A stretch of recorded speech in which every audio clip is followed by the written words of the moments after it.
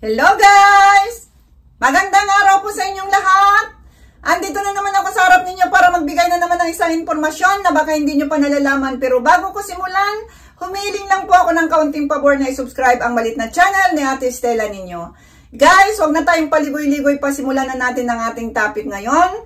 Ang topic natin ngayon ay tungkol naman ito sa mga sakit na pwedeng maipasa ng babae sa lalaki sa panahon ng pagtatalik. So ano nga ba ang mga sakit na pwedeng maipasa ng babae sa kanyang partner na lalaki? Pero bago natin simulan, disclaimer lang po, ang mga impormasyong binibigay sa video nito, nito ay para sa mga layuning pang-edukasyon lamang at hindi nilayon bilang kapalit ng profesional na payong medikal. Maraming salamat po. At ayon sa aking pagsaliksik, may mga sakit na pwedeng maipasa ng babae sa lalaki sa pamamagitan ng pakikipagtalik. Ang mga ito ay tinatawag na sexually transmitted infections na tinatawag. Narito ang ilan sa mga sakit. Number one, human immunodeficiency virus naman ito o yung tinatawag na HIV, no? Ito ang virus na nagdudulot ng AIDS.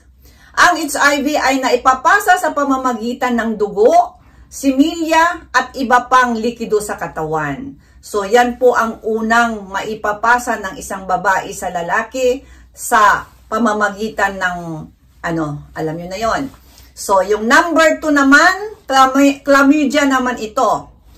Bakterya na nagdudulot ng impeksyon sa reproductive system. Karaniwang walang sintomas ang lalaki, ngunit maaari itong magdulot ng pananakit sa pag-ihi at posibleng komplikasyon sa reproductive health. No, yan po yung number 2, yung tinatawag na chlamydia. No? At ang number 3 naman natin, yung gonorrhea o tulo.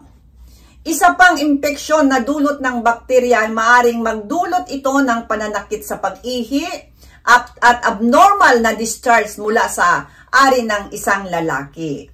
So, yan po yung parati nating naririnig doon sa Pilipinas. Ah, baka may tulo. Ano ba to? Nung una, hindi ko alam kung ano nga yun.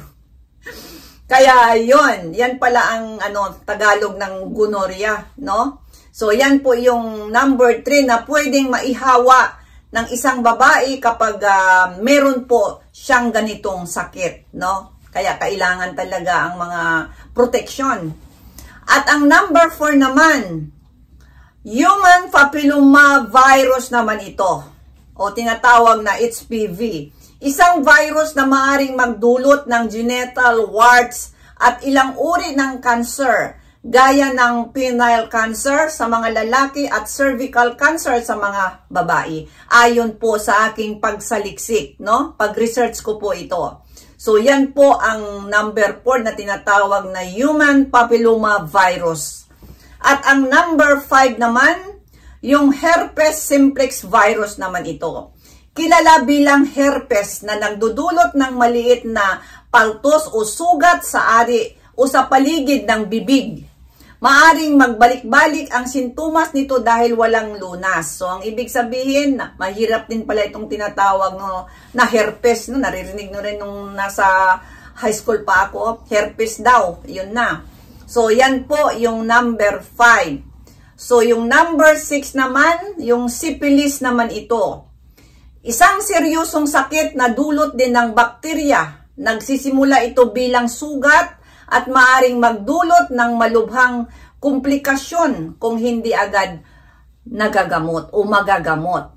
So guys, kapag uh, alam natin na meron na tayong mga nararamdaman sa ating piston, mas minabuti na po na agarang magpaipakita kaagad sa isang doktor, magpakonsulta kaagad sa isang doktor dahil hindi natin alam kung ano talaga ang kadahilanan o ano talagang bakterya o sakit ang dumapo, no? Dahil hindi natin alam na meron tayong napagkunan. Hindi natin talaga alam. Alam naman natin na uh, sa panahon na ito, kahit sa mag-asawa nga eh, hindi natin alam kung sino yung nagluluko, sino yung hindi nagluluko. Pag nagloko yung isa, nakakuha, maipasa doon sa asawa niya na wala. So, talagang meron talagang mga pangyayaring nangyayari sa panahon na ito, no? Kaya, pag meron tayong naramdaman na kaagad, kaysa naman itago pa natin, pumunta na kaagad sa ano, sa isang doktor at uh, magpatingin at susuriin po 'yan kung talagang anong sakit 'yan, malalaman na malalaman kaagad. Lalo na ngayong panahon na ito, napaka-high-tech na lahat, no? Madali na pong malalaman kung ano yung sakit na yan.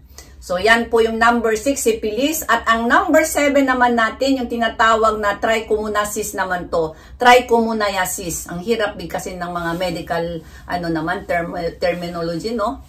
So, isang para, parasiti, parasitikong infection naman na nagdudulot ng pangangati at pananakit sa pag-ihi. So ito ring sakit na tri trichomoniasis, cis, isang parasitikong infection na nagdululot ng pangangati at pananakit sa pag-ihi. Nabubulol tuloy ako eh sa ha, ano sa hirap ng pagbigkas.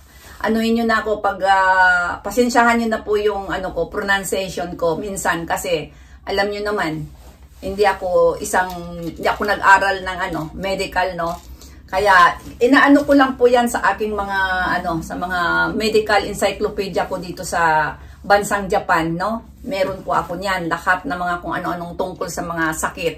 So, yan lang po inaano ko 'yan, pinag-aaralan ko po dito kaya meron na rin ako. Kaya lang yung mga pagbigkas talaga ng mga ano, yung medical terminology ano niya, mahi nahihirapan ako minsan kasi maiksi po yung dila ko.